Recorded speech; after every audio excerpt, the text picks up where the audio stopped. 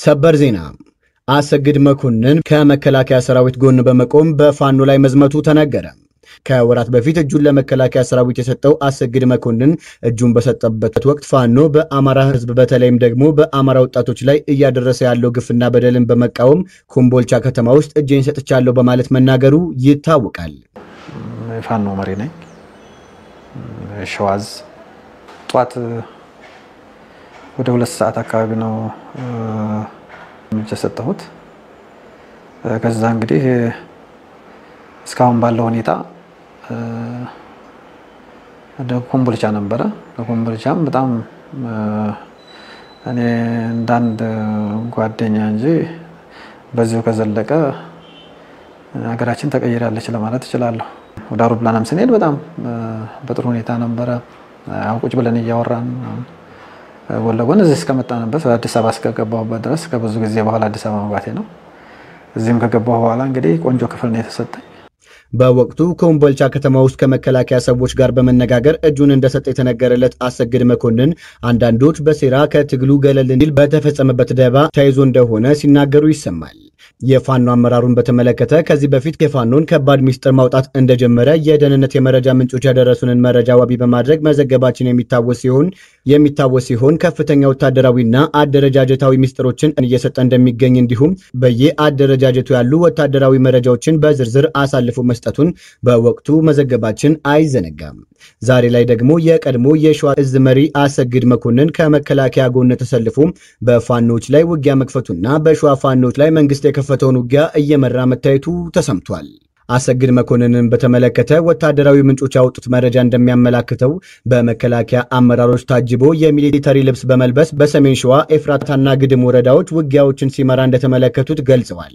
አሰግድ መኮንን ከሌሎች የመከላከያ ሰራዊት የውጊያ መሪዎች ጋር በመሆን ውጊያ ሲመራ እንደነበር የገለጹት ምንጮቹም ስለ ሁኔታው በወቅቱ ስለለበሰው ልብስ፣ የተሽከርካሪ ታርጋም እንዲሁም ከማን ጋር እንደነበረም በዝርዝር አጋልጠዋል። በዚህም የሸዋ ፋኖ አሁን ላይ ከአሰግድ መኮንን ጋር የተገናኙ ወይንም እርሱ ሲጠቀምባቸው የነበሩ አደረጃጀቶች፣ መዋቅሮች፣ የመረጃ መለዋወጫ ኮዶች እንዲሁም ወታደራዊ ምስጢሮችን በመቀየር ጥንቃቄ እንዲያደርጉም አሳስበዋል።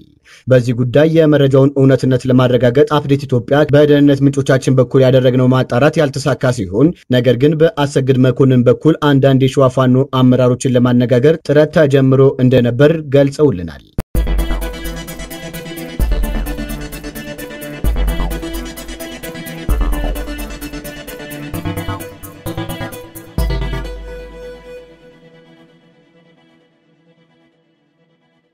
አንዳርጋቸው ጽጌ የአቶ ገዱ አንዳርጋቸውን ምስጢር አጋለጠ።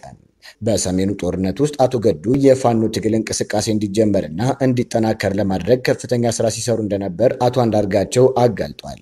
ከወራት በፊት ከሀገር የኮበለሉትና ከአማራ ክልል ርዕሰ መስተዳደርነት እስከ ውጭ ጉዳይ ሚኒስትርነት በከፍተኛ አመራርነት ሲያገለግሉ የነበሩት አቶ ገዱ አንዳርጋቸው በአሜሪካ አዲስ ጥምረት ለመፍጠር እየተንቀሳቀሱ እንደሆነ የሚወጡ መረጃዎች እያመላከቱ ይገኛሉ። በዚህም በእነ አቶ ገዱ አንዳርጋቸውና በእነ አቶ አንዳርጋቸው ጽጌ የሚመራ አዲስ ፓርቲ የመመስረት እንቅስቃሴ መጀመሩን ከዚህ በፊት ለአፕዴት ኢትዮጵያ የደረሰንን መረጃ ወደ እናንተው ማቅረባችን ይታወቃል። በወቅቱ መረጃውን ያጋለጡት ምንጫችን እንደገለጹት የቀድሞ የብአዴን ከፍተኛ አመራሮች ቀስ በቀስ የፋኖ መሪነት ቦታን በመቆናጠጥ ፋኖን ለመጠቅለል እያደረጉት ያለው እንቅስቃሴ እየተሳካላቸው ይገኛል በማለት ገልጾም ነበር። በዚህ እንቅስቃሴ ውስጥም ከጀርባ አቶ በረከት ስምዖን እንደሚገኝበት ያመላከተው የደረሰ መረጃም ከሰሞኑ እየታሰሩ የሚገኙ የአማራ ክልል ከፍተኛ አመራሮችም በዋናነት ከዚህ የገዱ አንዳርጋቸው ቡድን ጋር በቀጥታ በስልክና በተለያዩ መንገዶች ግንኙነት የፈጠሩ ሰዎች መሆናቸውንም ምንጫችን ማብራራቱን ዘግበን ነበር። በዚህም አዲሱን ድርጅት ለመመስረት እንቅስቃሴ የጀመሩ በርካታ ግለሰቦች በተሳተፉበት የዙም ስብሰባ ላይ አቶ ገዱ ያደረጉት ንግግር ተቀድቶ የወጣ ሲሆን በዚህ ንግግራቸው ላይ አዲሱን አደረጃጀት በተመለከተ ማብራሪያዎችን መስጠታቸው ይታወሳል። እኔ እንትን ለማለት ይሄ የተነሱት ሀሳቦች ገንቢ ናቸው። consider ማድረግ ያለብንም ነገር ያሉ ይመስለኛል። የአማራ ፖለቲካ እንደውም አንዱም ደካማ ጎኑ ወዳጅን ከማሰባሰብ ይልቅ ጠላትን ማፍራት አቅሙ ነው ትልቁ። እነዚህ ግን ሌሎች ድርጅቶች መሪዎቹን ማማከር መሪዎቹም እዚህ የዚህ አባል ሊሆኑ ይችላሉ። እንግዲህ አንዳንዱ ድርጅቶቹ ወይም ማህበራቶቹ specific የሆነ ተልዕኮ ያላቸው ሊሆን ይችላል። በትልቅ ዓለም አቀፍ ሚዲያዎችም ጭምር እየቀረበ ማብራሪያ ይሰጣል፣ ትግል ያካሂዳል ማለት ነው። የሚታገል ድርጅት ነው እና ፖለቲካዊ ነው ተቋሙ። አሁን ችግር የሆነው ምንድን ነው? ድርጅትን የመፍራት እንትኖች አሉ እና የአማራ ታጋዮች ወስደው የሚመሩበት መመሪያን የትግል መመሪያ የትግል ሮድማፕ ሊጠቀሙበት እኮ ይችላሉ። ይህንንም የሚያመነጭ ነው ሀሳብ የሚያመነጭም ጭምር እንዲሆን ነው የሚፈለገው እና ፖለቲካዊ የሆነ ድርጅት ፖለቲካዊ እና ይሄ የተበታተነውን የፖለቲካ እይታ አሁን የአማራ ሚዲያዎች እነዚህ ሀገር ቤት ማነው እዚህ ያሉትን ማነው የሚመራቸው? ማነው ሸፕ የሚያደርጋቸው? ሁሉም ባፈተተው ነው ግለሰቦችም ተነስተው አቅጣጫ ሰጪዎች ናቸው። ይህንን ሰብሰብ አድርጎ ወደ ተደራጀ አቅም የሚወስድ ኦፒኒየን ሊደር የሆነ ተቋም እንዲሆን ነው የሚፈለገው። ህጋዊ የሆነ እንዲሆን የሚፈለገው የዚህን ሀገር ህግ ማሟላት ይኖርበታል። እንግዲህ ዓለም አቀፍ በመሆኑ ዞሮ ዞሮ ወሳኝ ወሳኝ ከሆኑ ሀገሮች ላይ መመዝገብ ይኖርበታል። አሜሪካ ውስጥ ከፍተኛ ቁጥር ያለው ዲያስፖራ ያለው አሜሪካ ነው። በአሜሪካ ህግ መሰረት እንትን ማለት ይኖርበታል። የህግ ሰዎች፣ ልምዶ ያላቸው ሰዎች በደንብ እንትን ተብሎ ለዛ የሚያበቃው ምን አይነት ስያሜ እንስጠው፣ ምን አይነት በየትኛው የአሜሪካ ህግ እንመስገብ የሚለውን እንትን ማለት አለበት። ግን በእርግጠኝነት ህጋዊ ሆኖ መንቀሳቀስ ያለበት ነው ማለት ነው። ዛሬ ላይ ደግሞ አቶ አንዳርጋቸው ጽጌ ከአርባ ሰዎች በላይ በተሳተፉበት በዚሁ የዙም ስብሰባ ላይ የተናገረው ንግግር ተቀድቶ ወጥቷል። አቶ ገዱ ኢህአዴግ እያለ በጠላትነት ፈረጀናቸው ነበር ሲል የሚገልጸው አቶ አንዳርጋቸው ጽጌ የሰሜኑን ጦርነት ተከትሎ ወደ ባህር ዳር መምጣቱንና በወቅቱ ከገዱ አንዳርጋቸው ጋር በበርካታ ጉዳዮች ላይ መነጋገራቸውን ገልጿል። በዚህ ንግግራቸው ወቅትም አቶ ገዱ በርካታ እቅዶችን በመንደፍ እየተንቀሳቀሰ እንደነበር የሚገልጸው አቶ አንዳርጋቸው መንግስትን ለመገልበጥ እቅድ አውጥቶ እንደነበርና በዚህም ሰነድ በማዘጋጀት ከፍተኛ እንቅስቃሴዎችን ሲያደርግ እንደነበረም ተናግሯል። ዛሬ ላይ የተደራጀውን የፋኖ ኃይል እንዲደራጅ ምቹ ሁኔታ በመፍጠርና ድጋፍ በማድረግ እንዲሁም በሰሜኑ ጦርነት ወቅት ከመከላከያ ሰራዊት በመዝረፍ የፋኖ ኃይልን በትጥቅና በሌሎች ጉዳዮች ለማደራጀት ከፍተኛ ስራዎች ሲሰሩ እንደነበረም አስረድቷል። ተመለከተ ቁርሱ ኢህአዴግ ውስጥ የሰራው አለ መናገር ስላለብኝ ነው። ምክንያቱም ባየ አንዳንድ ጊዜ ሂፖክራቶች ነን። አቶ ገዱ ወያኔ ውስጥ ሆኖ ከኢህአዴግ ውስጥ ሆኖ ተደርጓቸው አይሰማም። ሚውት ሆነሃል።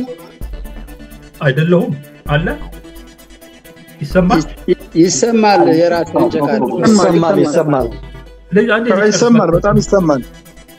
ስለዚህ አንድ ነገር ልንገራቸው። አቶ ገዱን እኔ ምሳሌ ያክል በጠላትነት ፈርጀው ኢህአዴግ እያለ ከተማ ውስጥ ምናምን ነገር እድል አጋጥሞን እኛ ሽብር ስራ መስራት ነው የምንፈልገው እና እድል ቢገኝ ያው ከምናጠፋቸው ሰዎች መካከል መድበ ነው ነበር እና ለውጥ መጣ። እኔ ለውጥ ሲመጣ የተጫወተውን ሮል በታሪክ ነው የሰማሁት። እስር ቤት ነው የነበርኩት። ግን ከለውጡ በኋላ እኔ አቶ ገዱን ያገኘሁት ያለው የህልውና ጦርነት ጊዜ ነው። አቶ ገዱን በህልውና ጦርነት ጊዜ ሳገኘው ባህር ዳር ሄጄ የህልና ጦርነቱ ደግሞ ወደዛ ይወሰደኛለሁ በአማራ ህዝብ ላይ ወያኔ ጦርነቱን አስታኮ ያመጣው ጭፍጨፋ ነው፣ ሌላ ነገር አይደለም። ከእሱ ጋር በምነጋገርበት ሰዓት ላይ በዛ ሰዓት ላይ እሱ ቆርጦ ጨርሷል ሁሉም ነገር። የጻፈውን ጽሁፍ ይሄንን አንብበው ብሎ ኮምፒውተሩ ላይ ነው ይሰጠኛል። በዛ ሰዓት ላይ አብይ አህመድ እኛ ገና ያልደረስንበት መደምደሚያ ነው እንደ ኩልል እንዳለ የኩሬ ውሃ እስከ ታች ድረስ አብይ ምን እንደሆነ ማየት የሚያስችል ጽሁፍ ነበር የዛን የጻፈው። በጣም በጣም ኃይለኛ ጽሁፍ በመሆኑ የተነሳ የሰውየውን አቅመ ብሲነት ሳይቀር አጭበርባሪነት ሳይቀር ጠቅላላ ሊፈጥር የሚችለውን ቀውስ ሁሉ አስቀምጦ በቃ በመረረ ደረጃ ቆርጦ የተቀመጠበት መሆኑን የሚያሳይ ሰነድ ነው እንዳነበሩ እዛ ህልውና ትግሉን ለማስከበር ከታች እስከ ላይ ሲንቀሳቀስ የነበረው ዛሬ የፈጠረ የፋኖ አደረጃጀት ለፋኖዎች የሚስማማ ሁኔታ በመፍጠርና እንዲጠናከሩ በማድረግ የተጫወተውን ሮል ዲያስፖራ ሁሉ ተሰብስቦ ካዋጣው ገንዘብ በላይ ልንገራቸው፣ እውነቱ ልንገረኝ ካላቸው ተነስታችሁ አትናገሩ። ስለማታውቁት ነገር በየሶሻል ሚዲያው ላይ አንድ ሰው ተናግሮ ነበረ። የአማራ ጠላቶች የሆኑ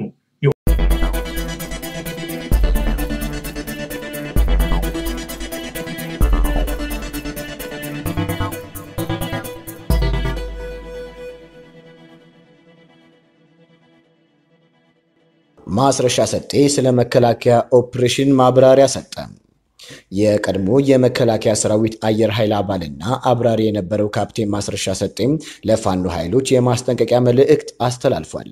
መንግስት አዲሱን ዓመት አስመልክቶ በጀመረው አዲስ ዘመቻ ከፍተኛ በሆነ መልኩ ጥቃት መክፈቱ የሚታወቅ ሲሆን በርካታ የመከላከያ ጀኔራሎች ወደ አማራ ክልል በመግባት ውጊያዎችን እየመሩ እንደሆነ ይታወቃል። ከዚህ በፊት ይህንን ዘመቻ አስመልክቶ ከመከላከያ ሰራዊትና ከፌዴራል መንግስት የተውጣጡ ጀኔራሎችና ባለስልጣናት ባደረጉት ስብሰባ ላይ በዋናነት ፋኖን ያለ መሪ ለማስቀረት የፋኖ አመራሮች እንዲመቱ መታዘዙን መዘገባችን ይታወቃል። ከዚህ በተጨማሪ በዚህ ውጊያ ላይ የአየር ኃይልና የአየር ወለድ ኮማንዶ ከፍተኛ ተሳትፎ እንዲያደርግ መጠየቁንና የድሮን ጥቃትም ተጠናክሮ እንዲቀጥል መታዘዙን መዘገባችን አይዘነጋም። በመሆኑም መከላከያ ሰራዊት ከሰሞኑ በከፈተው በዚህ ሰፊ ዘመቻ የድሮን ጥቃትና ከባድ የሜካናይዝድ መሳሪያዎችን ከመጠቀም በተጨማሪ ሄሊኮፕተሮችን በመጠቀም ውጊያዎችን እያከናወነ እንደሆነ የሚወጡ መረጃዎች አመላክተዋል። በመሆኑም ይህንን አስመልክቶ በአየር ኃይሉ ውስጥ ያለፈውና በርካታ ልምድ ያለው ካፕቴን መቶ አለቃ ማስረሻ ሰጤ የፋኖ ኃይሎች ማድረግ ስላለባቸው ጥንቃቄዎችና ሌሎች ተያያዥ ጉዳዮችን አስመልክቶ ማብራሪያ ሰጥቷል። በዚህም የተመደቡ የውጊያ ሄሊኮፕተሮች በዋናነት ሶስት ነገሮችን ይዘዋል በማለት የገለጸው ማስረሻ ሰጤም እነርሱም ቦምብና ሚሳይሎች እንዲሁም ከፍተኛ ጉዳት ማድረስ የሚችሉ automatic machine gun ኦች አሉት በማለት ገልጿል። እነዚህ የአየር ጥቃቶች የፋኖ ትግል ህዝባዊ በመሆኑ ምክንያት ውጤታማ መሆን አይችሉም በማለት የገለጸው ካፕቴን ማስረሻ ሰጤም ፋኖ ቋሚ የሆነ ካምፕ የጦር መሳሪያና የነዳጅ ዲፖ የሌለው በመሆኑ ለአየር ጥቃት ተጋላጭ የሚሆን ኃይል የለም በማለት የተናገረ ሲሆን ለማስፈራራት ያክል ብቻ ሊያንዣብቡ ይችላሉ በማለትም ገልጿል። ይሁን እንጂ ሰራዊታችን ከሄሊኮፕተሮች ጥቃት ለመጠበቅ በሚል የሚከተሉትን ማሳሰቢያዎች አስተላልፏል። በዚህም በተቻለ መጠን ለእይታ ተጋላጭ በማይሆኑባቸው መንገድ እንቅስቃሴ እንዲያደርጉና የተጠኑ ካምፖችን እንዲቀየሩ ያስፈልጋል ያለ ሲሆን ከዚህ በተጨማሪ ምሽግ ይዞ የመዋጋትን ልምድ መቀነስ እንደሚገባና ቋሚ የሆኑ መመገቢያ፣ መተኛ፣ የመሳሪያና የሬሽን ማከማቻ መጋዘኖችን በአስቸኳይ በመቀየር መረጃዎችን ማጥፋት ያስፈልጋል ሲል አስታውቋል። በዚህ ልዩነት ፈጥርበታለሁ ውጊያው ላይ ልዩነት ፈጥርበታለሁ ብሎ ነው አስቦ የነበረው። በዚህ አጋጣሚ ሆኖ እነዚህ በዚህ በተዋጊ ሄሊኮፕተር MI thirty five ተዋጊ ምድብተኛ ፓይለትም ነኝ እና እዚህ አካባቢ ላይ ሌላው ፓይለት ሌላው ፋኖም እንዲረዳው ህዝብም እንዲረዳው የሙያ እንትኖችንም ማስቀመጥ እፈልጋለሁ። የጥንቃቄ መልእክቶችን ማለት ነው። በውጊያው ላይ የሚፈጥረው ልዩነት የለም። እንግዲህ ይሄ ተዋጊ ሄሊኮፕተር ሶስት ነገሮችን ይጠቀማል። አንደኛው ቦምብ ነው። ሁለተኛ guided እና unguided ሚሳይሎችን ይጠቀማል። በሶስተኛ machine gun አለው እንደ ዲሽቃ እንደ ብሬን ሼንሼል አለው ወደ አንድ ሺ መቶ ሰባ አካባቢ ጥይት የሚይዝ ሼንሼል እና ጥይት እንትን አለው። አውቶማቲክ ነው። እነዚህን ይጠቀማል። በዋናነት የፋኖ ውጊያ ህዝባዊ ነው። የራሱ የሆነ ዲፖ የለውም። በመኪና አይንቀሳቀስም። የነዳጅ ዲፖ የለውም። ካምፖቹም ደግሞ እየቀያየረ የሚጠቀም ከፈለገም ደግሞ በየጫካው የሚኖር ነው እንጂ ለአውሮፕላን target available የሆነ ነገር የለውም። በዚህም አይተነዋል። በዚህ አንድ ሳምንት ውስጥ ብዙ ቦታዎች ላይ በዚህ በተዋጊ ሄሊኮፕተር ውጊያዎችን ለመበተን ሞክሯል። ጎንደር አካባቢ እሱን አይተናል። በዚህ በእኛ ቀጠና ጎጃም አካባቢም እሱን አስተውለናል። የፈጠረው ልዩነት ግን የለም። እነዚህ unguided ሚሳይሎቹ የራሳቸው እንትን አላቸው። short፣ medium፣ long እስከ ስምንት እስከ አስራ ስድስት አካባቢ አንድ ጊዜ ሊያዋጣ ይችላል። ይህም ደግሞ effective የሚሆነው አንደኛ ምሽግ ለማስለቀቅ ከእንደገና ደግሞ ካምፕ የተጠና ካምፕ ካለ ዲፖ ካለ የነዳጅ ዲፖም ሊሆን ይችላል። ተሽከርካሪዎች ካሉ እነሱ እነሱን ነው ሊያወድም የሚችለው። ከዚያ ውጭ የሚፈጥረው ነገር የለም። እነዚህ ማሽንገኖቹም ቢሆኑ ሰራዊታችን ለአውሮፕላን እይታ ምቹ በሆነ እንቅስቃሴ ውስጥ መገኘት የለበትም እንጂ የሚፈጥረው ልዩነት የለም። ውጊያ ውስጥም ሆኖ ለማስፈራራት ሊያዣብብ ይችላል። ሁለት ሆኖ በ element ም ደረጃ ሊንቀሳቀሱ ይችላሉ። አራት አምስት ነውም ማለት ነው። ስለዚህ የሚፈጥሩት ነገር የለም፣ የሚፈጥሩት ልዩነት የለም። ህዝባዊ ነው። ውጊያችንም ደግሞ እንደየ ሁኔታው የምንቀያይረው ነው። ካምፖችን የተጠኑ ካምፖችን መቀየር ያስፈልጋል። totally ካምፕ አያስፈልግም። trench ይዞ ምሽግ ይዞ የሚታወቅ ደህንነቶችን፣ አስተኳሾችን፣ OP ዎችን እያስገቡ ሊመቱ ስለሚችሉ እዚህ አካባቢ ላይ ጸጉረ ልውጦችን መከታተል ያስፈልጋል። ምሽጎችን መቀየር ያስፈልጋል። መኖሪያ፣ ማደሪያ፣ መመገቢያ ካምፖችን መቀየር ያስፈልጋል። መኪና አለመጠቀም ይሄው ነው። የመሳሪያ መጋዘን ወይም ደግሞ የሬሽን መጋዘን ካለም እሱንም መበታተንና መረጃውን ማጥፋት ያስፈልጋል። ከዚያ ውጭ ሰራዊቱ ላይ የሚፈጥረው ምንም አይነት ልዩነት የለም። ውድ የአፕዴት ኢትዮጵያ ቤተሰቦች እነሆ ለዛሬ ያዝንላችሁ ዜናዎች እነዚህ ነበሩ። አብራችሁን ስለቆያችሁ እናመሰግናለን።